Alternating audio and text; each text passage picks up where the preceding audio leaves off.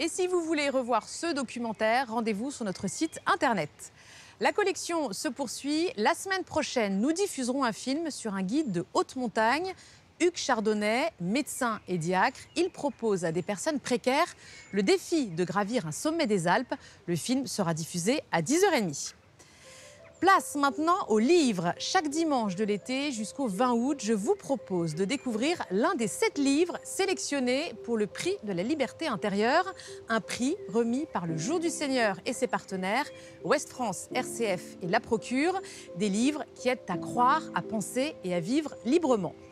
Et on démarre avec le dernier livre de Jacqueline Kellen, que l'on connaît bien ici, au Jour du Seigneur, puisqu'elle a été la lauréate de la troisième édition du prix de la liberté intérieure. C'était en 2020. Aujourd'hui, elle revient avec un ouvrage inspiré du livre de Toby et intitulé Le temps de la bonté. Et elle nous propose ici une lecture très poétique de ce livre de l'Ancien Testament. Toby, avec un T, est un vieil aveugle, pieux et généreux. Il charge son fils Toby, avec un E, de récupérer une somme d'argent importante qu'il avait prêtée quelques années auparavant.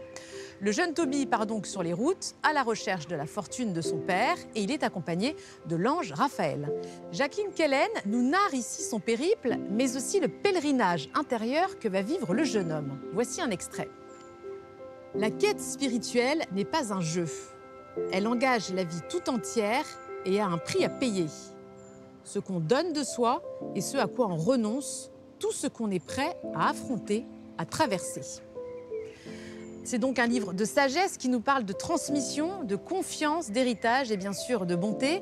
Et ce qui est toujours très pertinent avec Jacqueline Kellen, c'est qu'elle arrive à tirer de ses écrits bibliques des leçons de vie et à rendre ses textes très actuels et percutants. Le temps de la bonté de Jacqueline Kellen s'est publié aux éditions du Cerf. Il est temps maintenant de rejoindre la messe célébrée en direct. Nous partons aujourd'hui à Cordes-sur-Ciel, merveilleux petit village perché du Tarn, une messe célébrée par l'archevêque d'Albi, monseigneur Jean Legray. Très belle célébration à tous, on se retrouve juste après.